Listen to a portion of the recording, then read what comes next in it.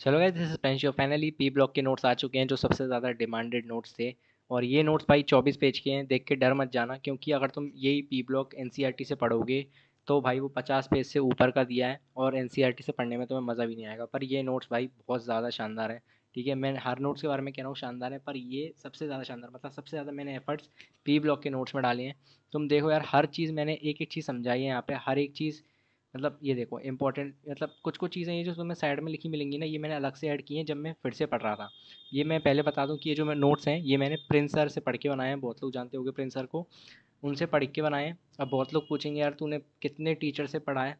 मैंने P M S sir से inorganic के नोट्स बनाए हैं और मैंने एन वी सर मतलब पचास तरीके के टीचरों से पढ़ रखा है। मेरे पास पचास क्लियर कर दूँ, ये नोट्स मैंने ड्रॉप ईयर में बनाए और ड्रॉप ईयर में सिर्फ़ मेरे पास ए टी पी स्टार का कोर्स था। बाकी जितने भी मैंने क्रैश कोर्स वगैरह लिए हैं फिज़िक्स वाला सर का क्रैश कोर्स लिया है और ई टूज़ का भी क्रैश कोर्स लिया था कंपटीशन का भी क्रैश कोर्स लिया था मैंने ई सेल का भी क्रैश कोर्स लिया था, ये सब मैंने अपने लॉकडाउन के टाइम पे लिए हैं फेब और मार्च अटैम्प्ट के बाद। तो ये सब जो नोट्स हैं, ये मेरे ड्रॉप ईयर के हैं तो ये मैंने खुद से बनाए हैं, वो भी ए टी पी स्टार की मैंने ज़्यादा हेल्प नहीं ली, उनका मेरे पास कोर्स था ड्रॉपर का, पर मैक्सिमम मैंने जो नोट्स बनाए हैं अपने, वो मैंने फ्री रिसोर्सेज से बनाए हैं। तो मैं ई टूज़ के लेक्चर्स तुम सर्च करोगे, थोड़ा गूगल पे वहाँ से मिल जाएँगे। तो यही है। मैंने अलग अलग चैप्टर अलग टीचर से पढ़ के बनाए, ये मेरे अंदर चुल थी, पता नहीं मेरे को जिसका अच्छा लगा मैंने उसके पढ़ के नोट्स बना लिए, ठीक है?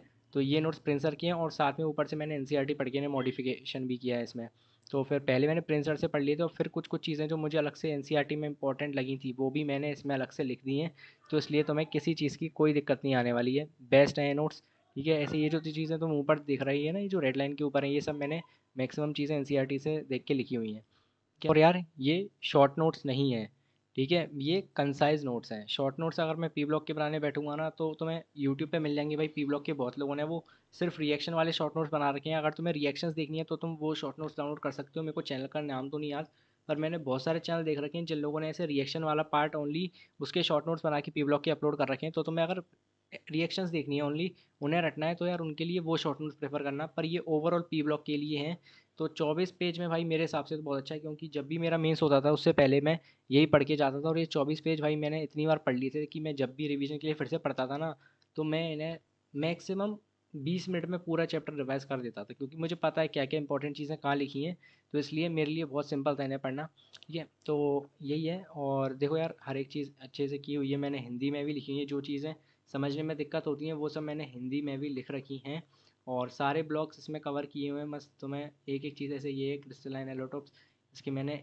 ये जो चीज़ है ना, इतने ब्लॉक में बहुत सारी चीज़ें ये फ्लो चार्ट्स वगैरह मैंने बनाए हैं तो तुम्हें सारी चीज़ें इसमें से आ जाएँगी। और यही है यार, सारे ब्लॉक्स इसमें कवर कर दिए हैं। एन e की जितनी भी इंपॉर्टेंट लाइंस होती हैं, जहाँ से क्वेश्चन फंसे हैं, वो सब मैंने कवर किए हैं। ऐसे देखो, ये वाला जो तीन पॉइंट्स है ना, इन तीनों पे एडवांस पे और मीन्स में दोनों में क्वेश्चन आया है। ये सर ने नहीं लिखवाया था, इसलिए मैंने अलग से एन e पढ़ के इसमें मेंशन किया। तो यही यार, ये नोट्स एकदम कंप्लीट है hundred and one percent complete notes हैं तो यहीं से पढ़ लेना। और बाकी तो यार सब कंप्लीट ही है।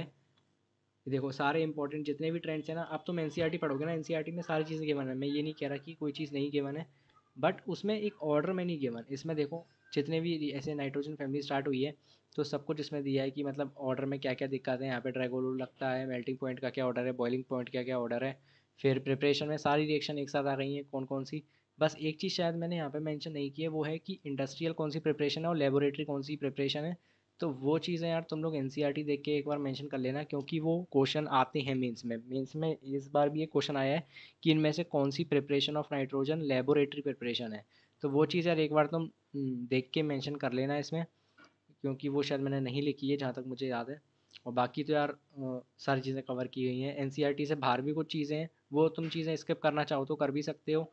और क्योंकि वो एडवांस के मतलब की होंगी, अगर तुम मेज़ पर ओनली फोकस कर रहे हो ना तो ये मोर देन एनफ है। ठीक है, और मैं एडवांस के लिए नोट्स इसलिए रिकमेंड नहीं करूँगा क्योंकि मैंने जो लेक्चर देखे हैं इस नोट्स को बनाने के लिए, वो मेंस तक के ही थे। इसलिए मैं मेंस वालों के लिए ये नोट्स रिकमेंड करूँगा। अगर तुम एडवांस पे फोकस कर रहे हो यार तो किसी और के नोट्स वगैरह देखो तो मैं दुनिया भर के नोट्स मिल जाएँगे अच्छे अच्छे वो तुम प्रेफर करना, और बाकी तो यार ये मेंस के लिए बेस्ट है। ठीक है अगली वीडियो यार मैं शॉर्ट नोट्स नहीं, एक सोच रहा हूँ मॉक टेस्ट के ऊपर लाने वाला हूँ, क्योंकि बहुत लोगों के मॉक टेस्ट में कम मार्क्स आ रहे हैं तो इसलिए वो डिमोटिवेट वगैरह हो जाते हैं। मेरे पे अभी भी डीएम पड़े हैं कि मॉक टेस्ट में मार्क्स नहीं आ रहे हैं, अपनी तरफ़ से पूरे एफर्ट्स दे रहा हूँ थ्योरी पूरी कंप्लीट है स्टिल मेरे मार्क्स नहीं आ रहे हैं।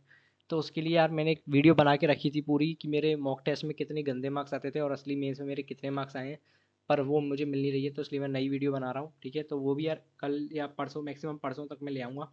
तो उसे देख लेना तो उससे तुम्हें एक बूस्ट मिल जाएगा अपनी प्रिपरेशन में, ठीक है? तो डाउनलोड कर लो और पढ़ लो इसे, तब तक।